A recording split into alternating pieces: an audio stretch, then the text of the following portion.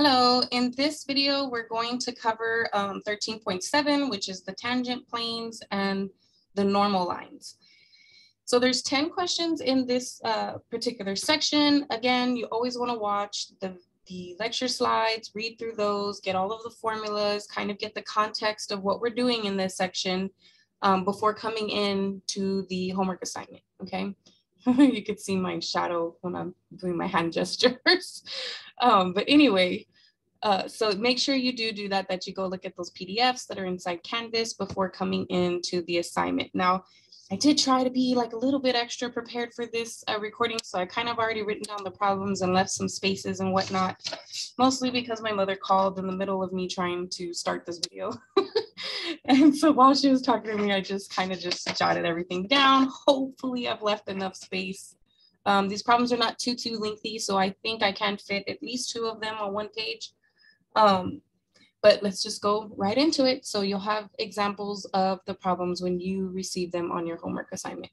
Now, um, I don't think I've mentioned this. Um, I mean, I might have like once in the very beginning, but I think I need to start mentioning it in every single video. Um, when you do go and, and look at those unit, um, those unit notes, the PDF files with um, all the slides and everything, all of those PDF files, um, you do want to try the homework, okay? Um, I would say to try it. What I don't want you to do is just take what I have and plug in the numbers that you get, okay? What I want you to do is actually try to understand what we're doing, why we're doing it, and how we're doing it, okay? Um, if you don't connect those three dots, um, chances are you're not going to understand what's being asked of you when you get to the test, okay? So it's just a matter of, of basically checking the boxes. Do you know what we're doing, why we're doing it, and how we're doing it, okay? Um, the lecture notes are really the explanation for the what we're doing and why we're doing it. And then this is more of like how we're doing it, okay?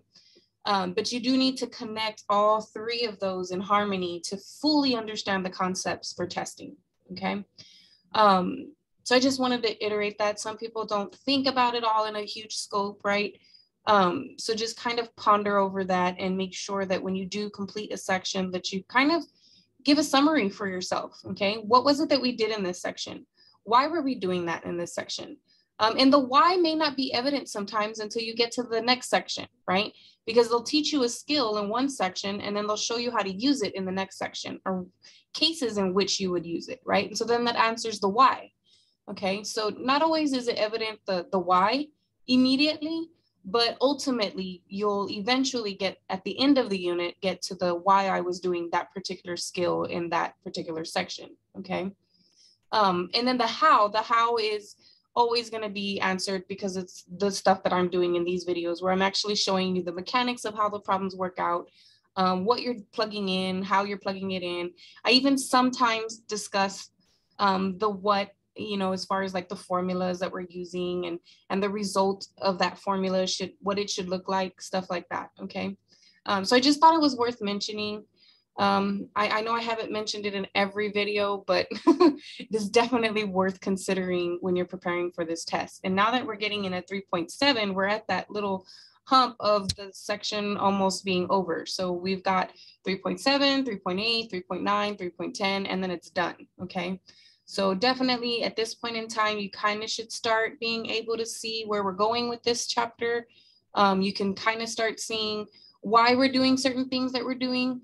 Um, but ultimately, those those uh, why questions will be answered in uh, the later sections of chapter 13. Okay, so let me get right into it. I, I apologize for spending those few minutes on it, but I just definitely wanted to make sure that um, I, I give that information. So I was trying to look to see how much time I had wasted because in some of my videos, I have like a little timer up at the top that tells me how long I've been recording, but for some reason right here, I do not have my timer. Um, so anyway, we'll keep going. So for number one, it says find the an equation of the tangent plane to the surface at the given point. So this is very much the three-dimensional representation of what we were doing in two dimensions in Cal 1, okay? In Cal 1, we would always find tangent lines, right? And we would always find um, critical points, okay? And those critical points eventually were um, used to calculate maximums and minimums, okay? And so that's essentially what's happening in here. In this section, we're learning about tangent uh, tangent values. We're learning about uh, tangent planes. In the in the Cal one, it was tangent lines, right? We'll even learn about normal lines. And then eventually when we get to 13.8 is when we'll start talking about maximums and minimums, okay? So you can kind of see the parallel, I can't say the word parallelism, I anyway, but you can see how the two courses are starting to parallel Cal 1 and Cal 2. So a lot of the concepts that we learned in Cal 1 we're now doing those again in Cal 3, but with three dimensions instead of just two dimensions, right? Or even more than that. Some of our uh, functions are in like three variables, four variables, which are beyond three dimensional spaces, okay? Um, uh, physicists will argue that, physicists will argue that there is a fourth dimension and that fourth dimension being temperature. Um, so uh, there are actual applications of functions with four um, variables, okay? There's many, many more. If you're an actuary and you're trying to calculate insurance policies, I mean like someone's age, someone's health, someone's, you know, there's a bunch of different factors, way more than just four that would help determine your life um, um, expectancy and your, which is eventually used for your um, rate calculations, okay? I'm getting beyond myself. Let's start the math, right? Um, so in equation of a tangent line. So we definitely want to have our, um, our strategy for this. So the strategy is to find that gradient, okay?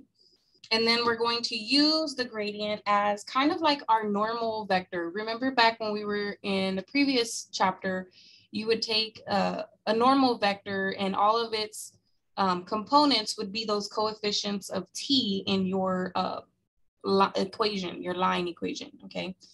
Um, I think it was called the plane, the equation of the plane, which is basically like a linear equation in 2D, but a plane in 3D, okay? So let's first start by defining a, a function um, in terms of z. So if you were to let this, this whole thing be z equals y over x, then that would mean that you could define, I always say let, because I this is this variable is coming out of nowhere, right? This f. Um, so we're letting this thing be a function of all three variables. And if I were to minus z over, that's essentially what I'm doing is I'm letting this function be y over x minus z. Okay. Once I have defined that function, then I can go ahead and start taking um, the gradient of it. And we know from the previous section that the gradient is just the uh, partial derivatives, right? So we're gonna do the gradient of capital F, this function that I have just defined, um, and let's go right into it. So if I'm doing the function or the a partial derivative with respect to x, um, this can be written as um, 1 over x times y minus z, okay? So when I'm doing the derivative of this term with respect to x, y is like the constant multiplier. And then I'm basically going to be taking the derivative of this. Now, I know that that is the same thing as x to the negative 1y minus z, okay? So if I were to bring down my power, it become negative 1, x, decrease the power by 1. Um, that is my derivative there. And then for the next term, the derivative of z with respect to x is just 0 comma. Moving on to the derivative with respect, the partial derivative with respect to y. So here, 1 over x acts like my constant multiplier, and the derivative of y is 1, but the derivative of z with respect to y is 0. Okay, now we're going to do our third component, which is the partial derivative with respect to z. So this term has no z's in it, so it's like a constant, and the derivative of that constant is 0 and then the derivative of z is just one. And so what I end up with is Um, if I clean this up, I'm not really adding anything or subtracting anything. These guys are not really there because they're just zeros, right? So I'm going to put this downstairs. This is negative y over x squared. This is just 1 over x. And then this is negative 1. Okay, so far so good. So let's go ahead and evaluate this gradient at the point that they've given me, which is 1, 5, 5. Okay, so this is like the derivative, just a regular derivative in two dimensions, right? And then in order for you to find the slope of the tangent line, you had to actually plug in your point. And so that's essentially what we're doing now is we're like trying to find the, uh, the slope of this plane, okay? But it's not really the same thing as slope, it's the normal vector, right? Um, we know that it's not one coordinate that or one value that tells us what's going on. It's going to be a, a vector that's telling us what's going on. So it's not really a, a, slope per se. It's a little bit different, but it's kind of the same idea on how to calculate it, okay? Um, so I'm gonna go ahead and plug these values in. So I get uh, negative five for y and one for x. Again, one for x, and that's the only variables I need to plug in. So in here, this simplifies to negative 5, 1, and negative 1. Okay, moving on, now we're going to actually write the equation. So once you have the um, slope, then you would go in in Cal 1 and you would find the equation with that slope with this point, right? Um, so for us, we're going to find the plane with this normal, it's called the normal vector, right? With this normal vector and this point, okay? So bear with me, I'm going to do that here. So it's going to be, this is going to be like my A, my B, and my C. And then there's my points, which are my X1, my Y1, and my Z1. Okay. And so I'm going to start going into the um, equation of a plane. So we're going to take the A, which is negative 5, and then we're going to do X minus X1 plus B, and then Y minus Y1 plus C and then uh, z minus z1. I shouldn't be writing z1, I should be plugging in the number for z1 equal to zero, right? And then if I distribute and combine my like terms, I should be able to get the equation of the plane. So I have negative 5x plus 5. Here, if I distribute the 1, I get y minus 5. If I distribute the negative 1, I get negative z plus 5 equal to 0. And then if I clean this up, it's just, um, oh, I'm going to scoot this over because I am going to have to clean it. Um, negative 5x plus y minus z. These are going to cancel, and this 5 I'm going to move over, so it's a negative 5. But normally when you're writing the equation of a plane, they like it in what's called like standard form, just like equations of lines in standard form. And the front number shouldn't be negative when you're writing this, the standard form, okay? So essentially what I'm gonna do is I'm gonna divide everybody by negative one, and then this plane equation will be positive x, 5x minus y plus z equal to positive 5. And this is what I would enter into that box. So 5x minus y um, plus z equal to five. And let's go ahead and submit it and see where we are. Okay, yeah, we got a green check. Now let's move on to number two. Number two, a lot of them are pretty similar. The only difference is the function, okay? So all of them are gonna have the same format. I'm going to find, I'm going to define capital F function in terms of all the variables. Then I'm gonna find the gradient of F then I'm going to evaluate that gradient of f at the point that was given, okay? And then I'm going to use that, that uh, vector as my normal vector for the plane, the equation of the plane, okay? And then once I do that, I'm just simplifying the form of that uh, plane, okay? So we're gonna move on to number two. Again, same process, different function, okay? So in this case, I'm going to do the same thing. Again, remember this is like Z and it's gonna get subtracted over there. So I'm going to say let capital F of X, Y, and this Z equal the arctan of y over x minus z, okay? And so then, um, oh gosh, we're definitely going to need to remember something real quick. And that is, um,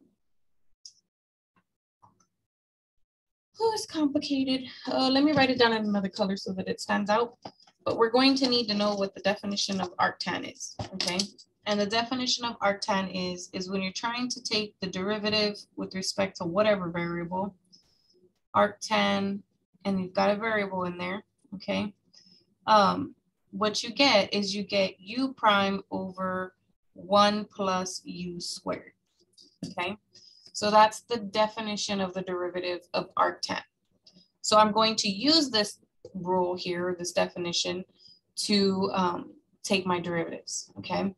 And if you do, for some reason on the test, if you're going to have something like this on the test, I will give you these rules because these are not rules. I mean, I memorize it because I've been teaching this class for such a long time that I, I know them, right? But not everyone does. So we definitely need to make sure that you have this formula if you were to need it, okay? So if there's no arctans or anything like that on the actual test, you won't see any of those uh, formulas on your note sheet, okay? Um, everything is pretty much basic. It's basically power rules. I don't try to throw like crazy things. Power rules, chain rules, product rules, quotient rules, um, a little bit of trig like derivatives of sine and cosine, um, but I don't usually try to put anything crazy in there. This one's just to kind of jog back your memory of the derivative arc functions, okay? Um, it doesn't mean that you're gonna see them or that they pop up very often. It's just to kind of be like, oh yeah, I remember that. I should be able to know how to do this. Oh, another one is like the derivative of one over x is ln of x, or the integral of one over, or the integral of ln of x. The integral of one over x is ln of x, and the derivative of ln of x is one over x. Sorry, I said it wrong the first time, okay? So that relationship, it's good to know that relationship as well, right? Um, okay, so moving on, let's go ahead and take this derivative, which is not going to be super easy. So when I find the gradient of capital F, um, it's going to be this fraction here. So I am going to rewrite this as arc tan of um, x to the negative one times y, which will help me so that I don't have to do a quotient rule inside of a quotient, right? Um, it just helps me to do the product rule better, okay? Um, I just prefer to do it that way. I mean, you could have a quotient rule inside a quotient rule. That's just not my preference, okay? So let's go ahead and take the derivative of these two terms with respect to x, okay? And since there is, I'm doing the derivative with respect to x, and there are x's inside this arctan. I put arcta instead of arctan. Um, I am going to have to apply this, this uh, rule here, right? So we're going to take the derivative of whatever's in here. And I have already done the derivative of what's in here, right? We did it up there. Didn't I have y over x and I had to take the derivative of it? And I already know what it's going to be, okay? So, I mean, I can, I personally would just be like, oh, I already did it. So let me just plug it in. But I'm going to go from scratch just so you can see what I'm talking about, okay? So let's do the numerator we're going to take the derivative of this, of what's inside here, okay? So we're going to take y is the constant multiplier, and then the derivative of this is negative 1 x to the negative 2. Um, and that's pretty much it for the derivative inside here, okay? Then at the bottom, I'm going to have 1 plus this thing squared. So it's x to the negative 1 y squared, okay? So it turns out I didn't need such a huge fraction. Then I do have to take the derivative of that term with respect to zero, which I mean with respect to x, which is zero. So now we're going to do the derivative with respect to y. And I do have y's inside this arctan, so I am going to have to apply this rule. Now the derivative of this angle is actually x to the negative one times one. And then if I go down here, it's gonna be one plus the angle squared. Then the derivative of the second term with respect to y is just zero. Now the derivative of this first term with respect to z is just zero because there's no z's in that first term. It's like a big, giant, ugly constant, right? Then you have the derivative of z, which is one, And so if I clean these up, which are gonna take quite a bit of work to clean these up, okay? Um, I'm going to write the numerator as negative y over x squared. And at the bottom, I'm going to write one plus, this will be y squared. And then this will be x to the negative two, which will be downstairs as x squared, okay? Minus zero doesn't do anything. Here I get x to the negative one, which can be written as just one over x. And then I have one plus that guy will be negative, so x squared at the bottom and y squared is just y squared. And I don't need the minus zero. And then here I just have minus one. So then if I multiply every single term in this fraction by x squared, this will be an equivalent of saying negative y over x squared plus y squared.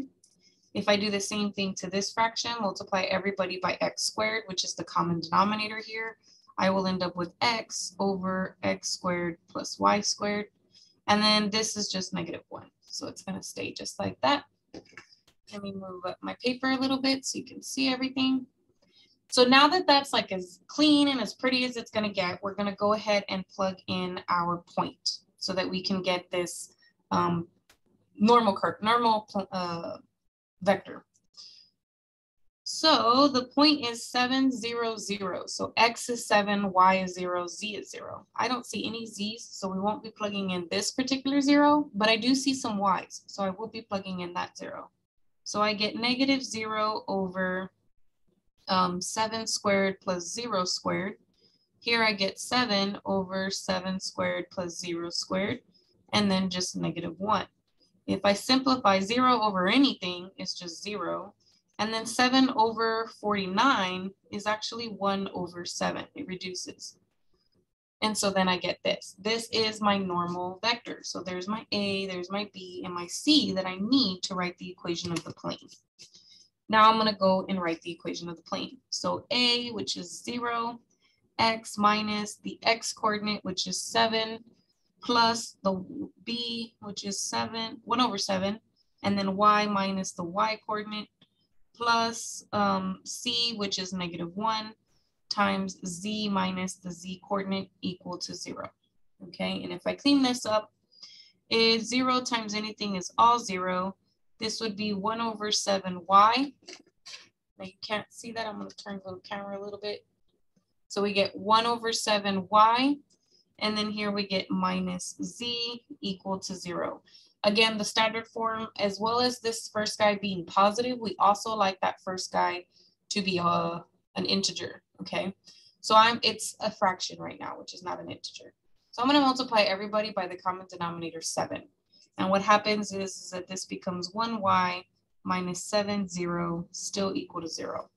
And I'm gonna type that in here. So y minus 7z equal to 0. Let's see if I get the green check. I always get so nervous. Even though I know this stuff and I do it all the time, I make mistakes just like everyone else. Always get nervous whenever I try to submit an answer. Um, as I'm sure you guys experience too, right? You're like, I just worked really hard on that problem and please be right. I don't want to have to redo it again, right? Um, so I completely sympathize in that regard. Um, let's go ahead and move on to the next one. So this is not any different, right? The directions are exactly the same. They're asking us to find an equation of the tangent plane. It's just a different function, okay? Um, I don't think that things are gonna get different for us until we move quite a bit down. Um, part number five is actually asking us the same thing, except they ask us for a little bit extra, which is the symmetric equations for it. Um, this is the exact same thing as number five. That's the exact same thing as number five, just again, different functions. Here, they're getting a little bit more complicated. Know that I have three variables here. So when I set up capital F, it's gonna have four variables in it, right? Um, it is, no, actually it won't because I only have a constant over here on this side. I don't have f of x equals this, this, or that, okay? So it's not as complicated. Um, and then the last two problems are asking us for the angle of inclination, which is another formula, okay? So pretty much it's the same stuff, just practice with all the different kinds of functions, okay? So we'll just go through the mechanics and get these problems done. So in this case, again, this is like Z, and we're gonna move the Z over there. So I'm gonna say let capital F of X, Y, and this Z that we threw in equal to this function. Okay, so that you have all of your variables in the picture. And then now we're going to find the gradient of F, which may not be so complicated because it looks like it's just a bunch of power rules. So the derivative with respect to x is going to be 2x minus 2y and then 0, 0. Derivative with respect to y is going to be 0 minus 2x plus 2y and 0. And the derivative with respect to z is 0, 0, 0, negative 1. Um, there's really nothing to clean up there. It's pretty nice and simple and cleaned up already. So we're just going to go ahead and plug in our point. So x is 5, so this would be 10. Take away y is 8, so this would be 16. Again, x is 5, so this would be negative 10. This is 8, so it would be plus 16, and then your negative 1. And if I clean that up, I get negative 6, positive 6, and negative 1. So then now these are my A, my B, and my C for my normal vector. So I'm going to go ahead and way over here. There we go. Now we're gonna go ahead and, um, and figure this thing out. So let's keep going. So I'm gonna have A, which is negative six times X minus five um, plus positive six, Y minus eight plus negative one times Z minus nine equal to zero. So this is going to become um, negative 6x, positive 30. This is going to be positive 6y, negative 48, negative z, and then positive 9 equal to 0. So let's see, that will become negative 6x, positive 6y, negative z, and then I'm not sure, that would be negative 18 plus 9 is negative 9 equal to 0. I've got a couple more manipulations to do. I want the number in front to be positive, and I want this guy to move over, okay? So I'm gonna have two transformations I need to do. I can do them personally in one step, but not everybody can, so I am gonna show both steps, okay? So if I make this guy, everybody's gonna change sign. So it's gonna be six, negative six y plus z plus 9 equal to 0. And then I got to move the 9 over. So now it's going to go back to negative, but it's going to be on the other side. Okay, and then this is what I'm going to type into the computer. It looks like I didn't leave myself enough space on that problem, but I just somehow squished it all in there. And it's still pretty legible, so I'm actually kind of proud of myself right there, but anyway. Um, plus z equals negative 9. Can you tell I've had coffee this morning? I feel like my mouth is moving kind of 10 miles per hour. Okay, probably more like 100 miles per hour, but anyway. So number uh, three, we got it down. I was looking at it like, wait a minute, I just do number four, but no, um, I just got all the way down to right there. Again, we're going to repeat the process, different function. It's not too complicated, this one either. Um, so before I define my function, I am going to have to move this 10 over. So it's going to be minus 10 equal to 0. And so that means I'm actually going to still have only three variables. So I'm going to let capital F be a function of x, y, and z. And that function is going to be xy squared plus 3x minus z squared minus 10 okay? And that's because we had to move the 10 over, okay? Now we're gonna take the gradient of f, and that is going to be um, y squared plus 3, 0, 0. Derivative of, with respect to y, is going to be 2xy, 0, 0, 0. Derivative with respect to z is going to be 0, 0, negative 2z, and 0. So then now if I want to find the gradient, I don't know where to go with myself. Let me see. The gradient of f evaluated at the point. Yep, okay. So y is going to be negative 4. Well, negative 4 squared is actually a positive 16, and positive 16 plus 3 is 19. Then 2 times 1 times negative 4 is actually negative 8. And then negative 2 times 3 is a negative 6. And so again, this is my normal vector. So this is acting like my A, B, and C. So I'm to have for my plane 19 times x minus 1 minus 8 times x minus a negative 4. Um, and then negative 6 times uh, z.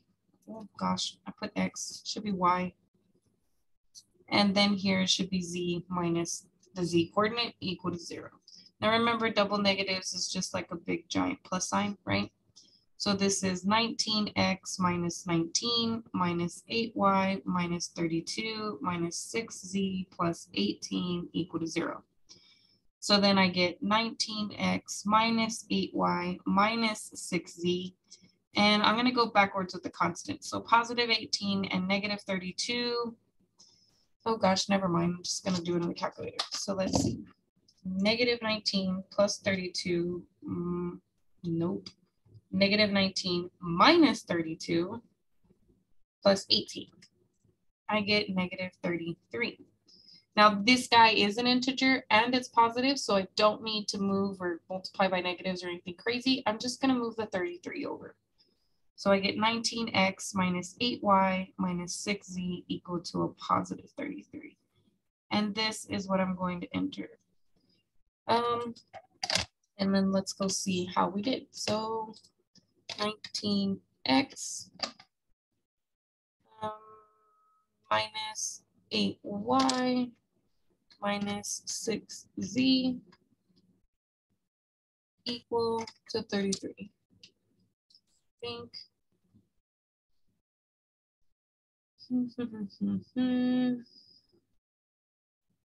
okay, we got our check. So now we're going to move on to number five. And number five is exactly the same thing. So I'm going to do everything that I've been doing, the same process, different function, right? The only thing I'm going to do also is instead of just doing the equation of the plane like this, I'm also going to do the symmetrical equations for the plane, okay? So we'll, um, we'll go ahead and do that. Now, um, let's go see what we get. Now I am gonna have to minus the 12 and put it over here, but I'm still only gonna have these three variables. So I'm going to say, let capital F be, um, F is not a vector, I don't know what I'm doing there. Let capital F be a function of X, Y, and Z, and that function is gonna be X plus Y plus Z minus 12. So then the gradient of F is going to be um, one, one, one, and that's it. Oh, no, yep, that's right. I was like, the z should be negative, but no, it's not. So then that's fine. I don't even need to plug in my number because there's no x's, y's, or z's to plug the number into. So even evaluated at this particular number, I still get the same vector 111. And this is like my A, my B, and my C. So when I write out the equation of the plane, it's going to be a times x minus the x coordinate plus b times y minus the y coordinate plus c times z minus the z coordinate equal to zero. So I get x minus 3 plus y minus 4 plus z minus 5 equal to 0. I get x plus y plus z, and then this is negative 7, and that would make negative 12. And then I'm just gonna move the 12 over and would you look at that, it is tangent to itself. Why is that? Because it is the, the plane, right? X, Y plus Z equal to 12 is a plane. So of course, a tangent plane is gonna be the exact same plane, okay? so I bet you weren't expecting that, right? Um, but yes, if you think about it, honestly, this is the equation of a plane, right? You have all uh, variables with the power of one. Um, and so it is a definition of a plane. It's kind of like in regular two dimensions, if there were no exponents, you knew it was the equation of a line. Well, here, when there's no exponents on your variables, there's no fractions, there's no radicals, there's nothing crazy, um, you're going to end up with the equation of a plane. And so no matter what, that plane is going to be tangent to itself, okay? Just like a line is um, tangent to itself in two dimensions. But we do still need to write those symmetrical equations. So I'm going to go over here to the side and write those symmetrical equations. So for x, it's going to be um, x minus the x coordinate equals to at, um, which means that t equals x minus 3. Then y minus the y coordinate equal to bt, which means t equals y minus 4 and then z minus the z coordinate equals ct, which means t equals z minus 5. And so then if t equals all of these guys, then all of those guys should equal each other. Okay, so bear with me. I'm going to type the first one in. I think I've got that all in there. And then now I'm going to type in the symmetrical equations, which I think is this one.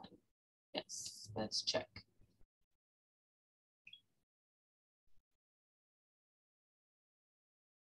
Okay, we got that one out of the way. Now we can move on to number six. So I'm pretty sure that that's not going to happen again on number six. And of course, they did not give us a plane, right? And how do we know that? Because they're squares, okay? They're not linear. Um, so we know that's not an equation of a plane, it's more of an equation to an actual surface. Um, now,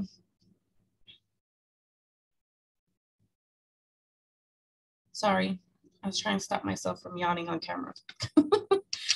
um, it's early in the morning, so give me a little break there. Um, so I had a bunch of coffee because it's very early in the morning. And it's on Saturday, so I'm trying. Um, we're gonna go through the same process. I'm gonna have to move this guy over, but I'm still gonna have three variables. So I'm gonna let capital F be a function of f, y, and z, and that function will be x squared plus y squared plus z squared minus 26. Then if I'm going to find the gradient of that function, it's going to be 2x and 2y and 2z, and that's it um, if I'm going to evaluate this function, this uh, gradient at the point, that's going to give me the vector um, 2, 6, and 8. So this is going to be my A, B, and C. So in the plane equation of a plane, it's going to be 2 times x minus 1 plus 6 times x minus 3 plus 8 times, um, why do I keep putting x twice? each respective variable, right? Equal to zero. So I get 2x minus 2 plus 6y minus 18 plus 8z minus 32 equal to 0. I get 2x plus 6y plus 8z minus um, these two together make 40, 50, so 52. And then if I move the 52 over, I do have the standard form um, because this is not, none of them are, are fractions or anything crazy, and this is positive, okay? Now I'm gonna go ahead and do the symmetrical equations, which means x minus one equals at, y minus three equals bt, and um, z minus four equals 8t. And so if I solve for t, I'm going to get x minus one over two equals t, here, I'm going to get y minus 3 over 6 equals t. And over here, I'm going to get z minus 4 over 8 equals t. So if I, um, if I keep going over here, this is going to tell me the symmetrical equations of this.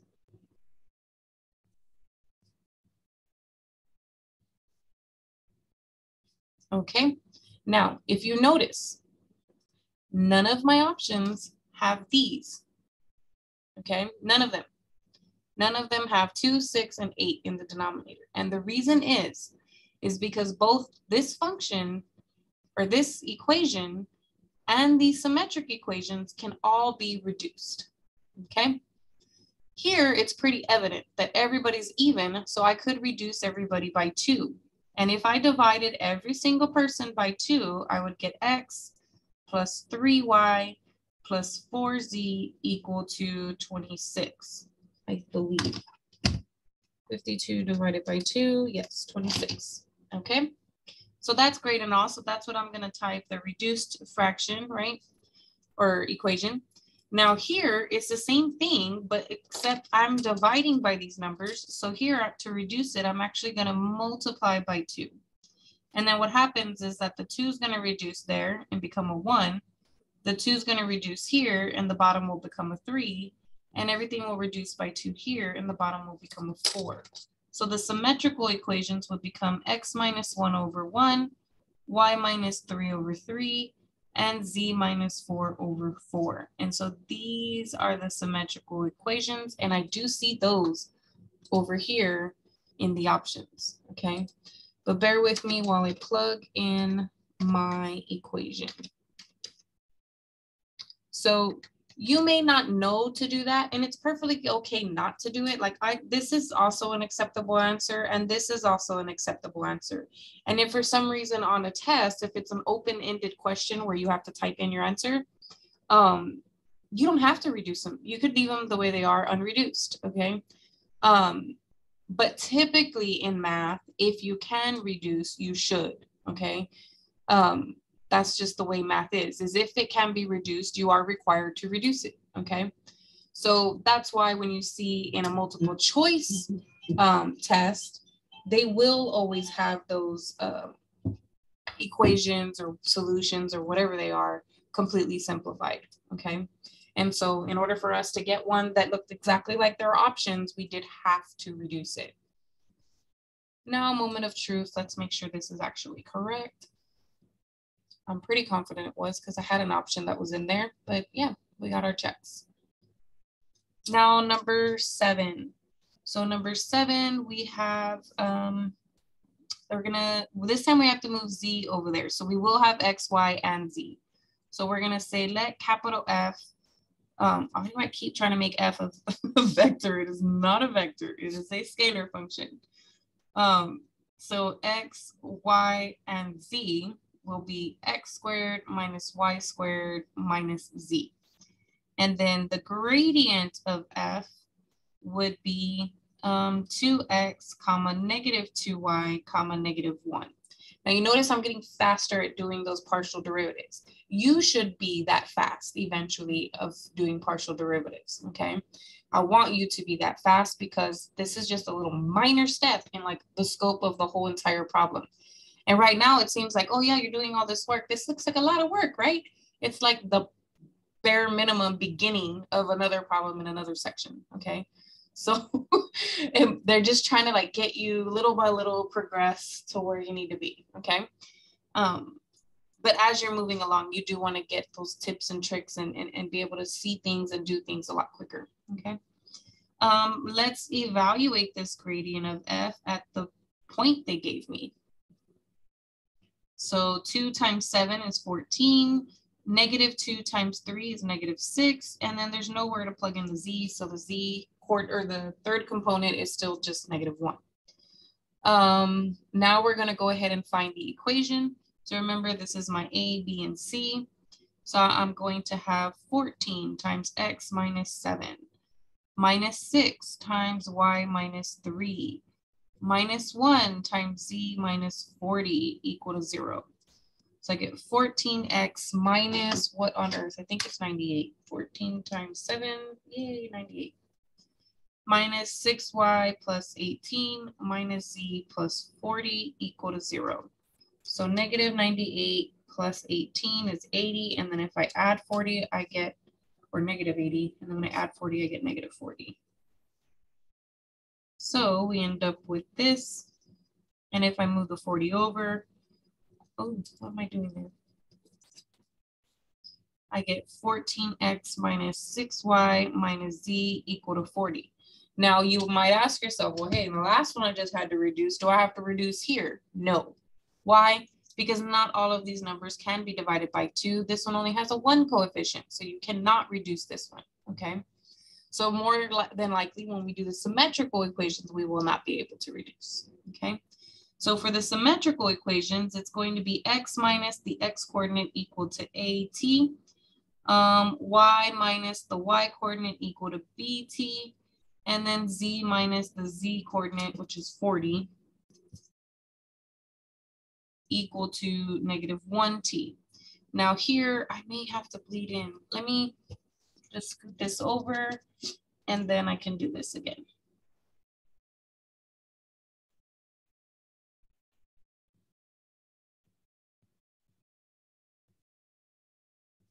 So here this means t is going to equal x minus 7 over 14. Here t is going to equal y minus 3 over negative 6. And here t is going to equal z minus 40 over negative 1.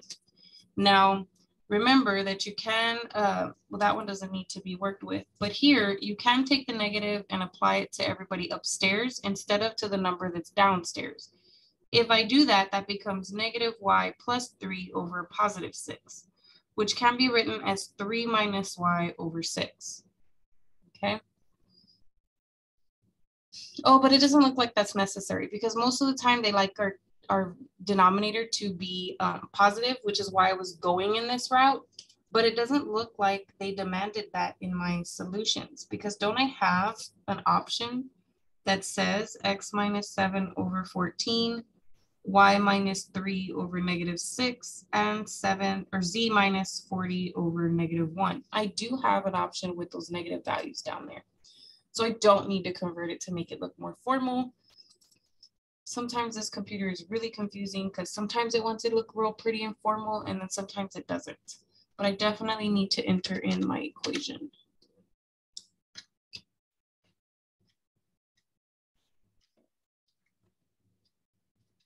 Oh, type that in there right? Yeah, yeah, yeah. Okay, let's see.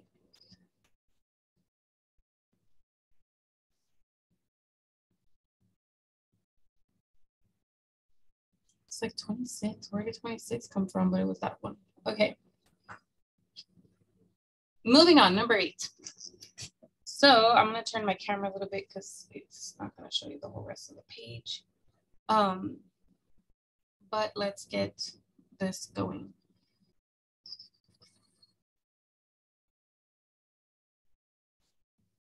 Sorry, I'm losing focus. I think my coffee is wearing out.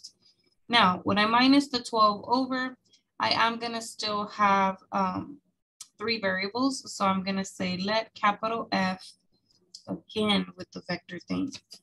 Um, I just really want to make that guy a vector for some reason. I don't know, whatever. Um, that's capital F. Now let's find the gradient of this F. And so that's going to be for the derivative with respect to x, that's going to be yz minus 0. The derivative with respect to y is going to be xz minus 0. And the derivative with respect to z is just going to be xy minus 0. Then if I want to evaluate this function at the point they gave me, which was 1, 3, 4, um, it's going to be y times z, which is 12, x times z, which is 4, and then x times y, which is 3. And so then this is my a, b, and c for my equations. So I have 12 times x minus 1 plus 4 times y minus 3 plus 3 times z minus 4 equal to 0, which is 12x minus 12 plus 4y minus 12 plus 3z minus 12 equal to 0.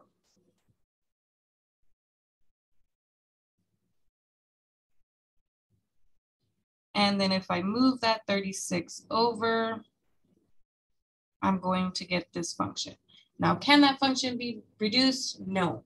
I can't divide by three because this guy is not divisible by three, and I can't divide by four because that term is not divisible by four. So this is not going to simplify any better than it already is, okay? But let's go do our symmetrical equations. So we get um, x minus one equal to 12t which is the same as t equal to x minus 1 over 12, um, y minus 3 equal to 4t, which is the same as t equal to y minus 3 over 4. And then z minus 4 equal to ct. And that gives me t equal to z minus 4 over 3, which gives me the symmetrical equations x minus 1 over 12, y minus 3 over 4, and z minus 4 over 3. Okay, let's see. 12x plus 4y plus 3z equal to 36. And then at the bottom, we're going to pick, no, those are a bunch of pluses. Here we go. I think it's this one.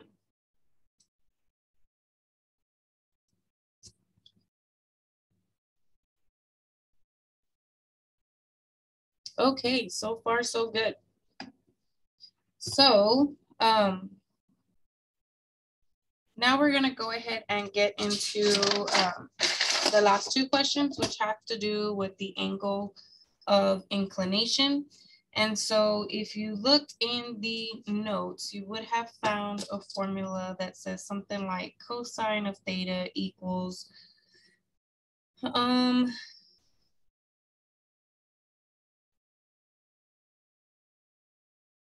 Hmm.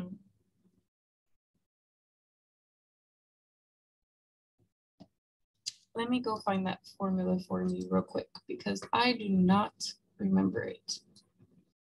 That is just one of the things that we don't use a whole bunch. Um, if you're trying to graph it or, you know, you're just trying to like get a sense of what it looks like in space, knowing the angle of inclination, may, what am I doing? Um, may be useful but typically with three dimensional stuff, we don't, I mean, as far as like us in this class, we don't always um, know exactly what it looks like before we start messing around with it and applying theorems and formulas and such. So this is not something that I do all the time. Um, but it is something that may need to be done at some point in time if you're really trying to visualize where the plane is and what it looks like, okay? So bear with me, I'm gonna go try to find that formula for us. Oh, and I just disappeared everything. Um, there it is, the angle of inclination. That's what I was looking for. Okay, and so then K. K, yes.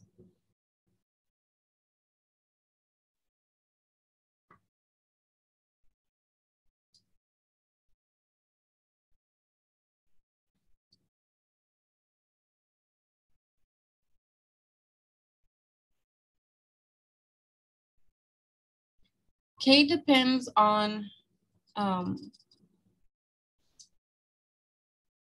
is normal to the tangent and k is normal to the xy plane. Um, normal basically means um,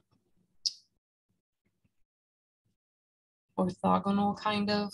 Orthogonal is really used in just just plotting vectors, okay? Um, but it's really like something that is orthogonal to the whole plane. So it's it's moving off of the plane um, and it could be going up or it could be going down. It really just depends on where the plane is.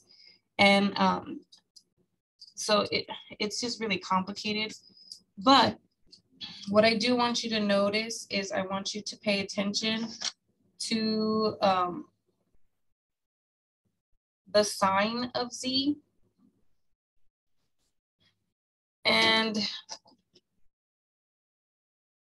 to your function that you have. So I'll explain that. So since we're gonna have to, let me first write down the formula. Here I am getting ahead of myself and I haven't even written down the formula. But the formula is the absolute value of your normal vector dot product with the k vector. And so it is literally just a vector in its uh, IJK format. So I'm going to write the same formula, but in the um, component form, and you'll see what I'm talking about, okay? So in component form, this is going to be your A, B, C vector, and then K written in component form is zero, zero, one. okay? So it's always going to be, if you've got this plane, right, and it's in the XY system, then your normal vector needs to come off of that. And normally when it comes off, it usually just goes up. And so that's why they're using this K value here. And then of course you wanna find the magnitude of that A, B, and C, oops, and then the magnitude of that K. But I know what the magnitude of K is, right? It's just one. So that's why at the bottom, you'll notice in that second variation on my screen over here, it just has the uh, magnitude of the normal vector okay? But we have to find that A, B, and C, and that's what we've been doing this entire time. So let's go ahead and do that just like we have been doing all this time. Now this function is already equal to zero. So I do have X, Y, and Z. So I'm gonna let capital F of X, Y, and Z equal 2xy minus z cubed. And if I find the gradient of f, um, see, there I am again, putting it as a vector. I don't know why I keep doing this. This is like the 10th time I've done, or ninth time I've done it. Um, we get, let's see, 2y and then 2x and then negative 3 squared. So if I take that same gradient and I plug in the point they gave me, which I did not write on my paper, 2, 2, and 2, I get four, four, and four times negative three, which is negative 12. Okay, cool.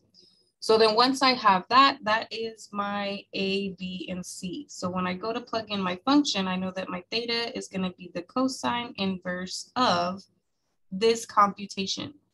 So it's going to be um, 4, 4, negative 12 dot product with the k vector, which is 0, 0, 1, over the magnitude of um, 4, 4, and negative 12.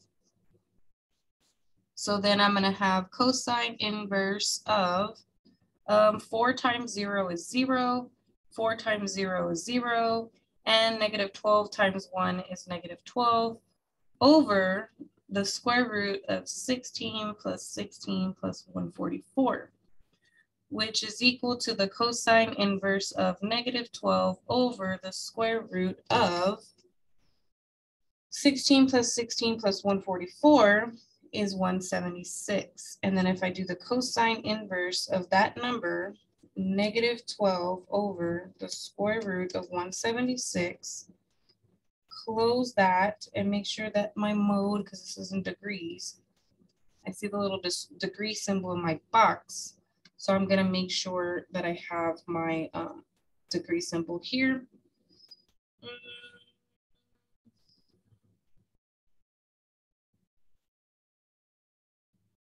Let me see real quick.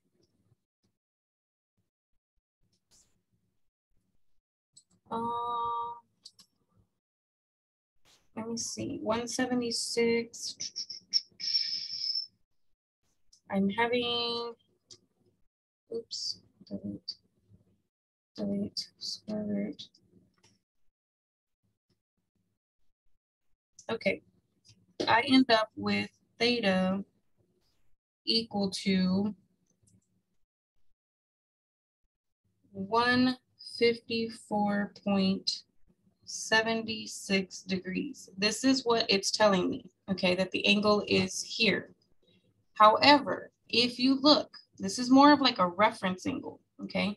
So I always like to write REF because it may not be the exact answer, okay? It's just a reference angle.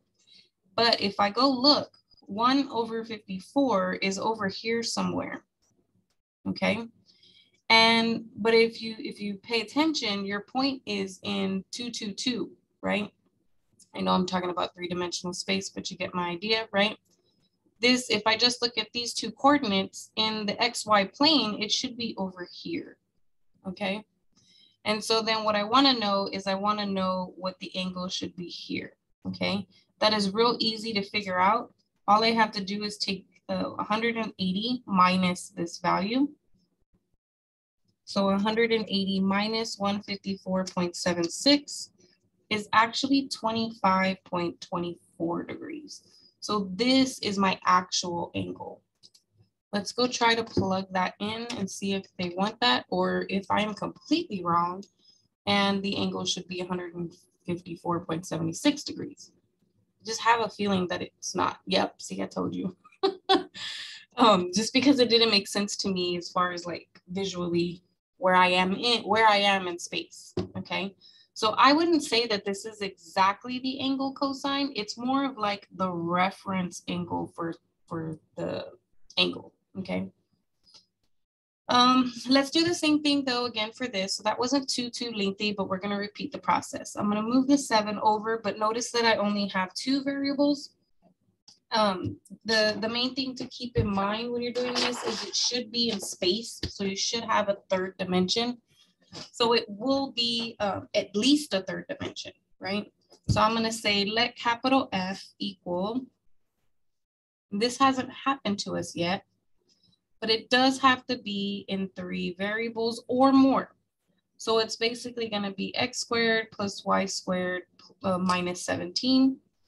And then when I go to do the gradient of f, it is going to be, and why does it have to be in three dimensions? Aren't I gonna have to multiply by something in three dimensions, right?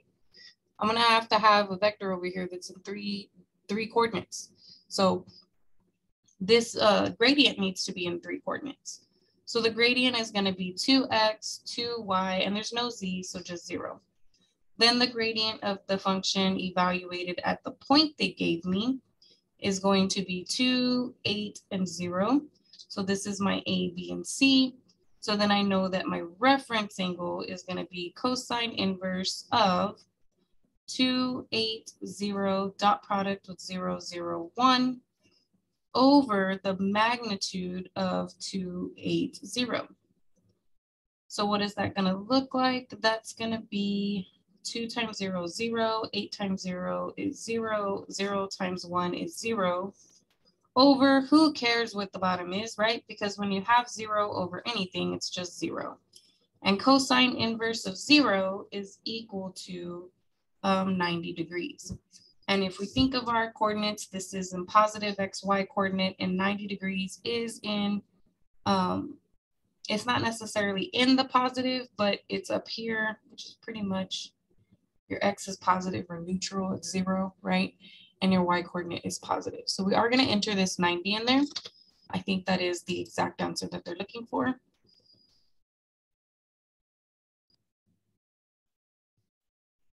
Yep, and we got this one correct. So we are good there. Well, that is the end of 13.7. So um, we will discuss in the next video um, 13.8.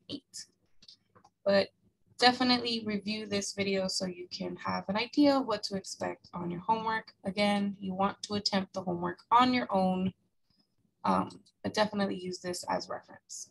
Have a good day.